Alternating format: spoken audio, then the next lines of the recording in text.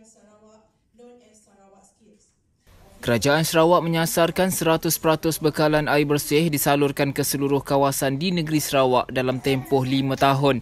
Menteri Utiliti Negeri Datuk Seri Dr. Stephen Rundi Utom berkata beliau yakin sasaran itu dapat dicapai meskipun ketika ini banyak projek penyambungan saluran air tergendala berikutan pandemik COVID-19.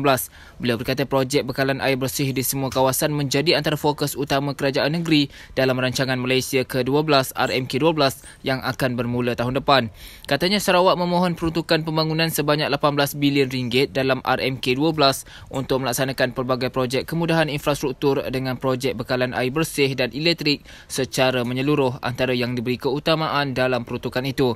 Beliau berkata demikian pada sidang media selepas majlis menandatangani memorandum persefahaman antara Kementerian Utiliti dengan Akademi Binaan Malaysia dan Pusat Pembangunan Kemahiran Sarawak di Menara LCDA di Kuching pada Selasa.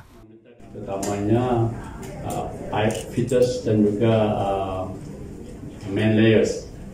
Kerana kita perlu uh, skillful or skilled workers yang bertauliah untuk menjalankan uh, kerja-kerja penyambungan pipe dan juga penyelenggaraan bakalan air terutamanya dan juga bakalan elektrik ke kawasan luar bandar.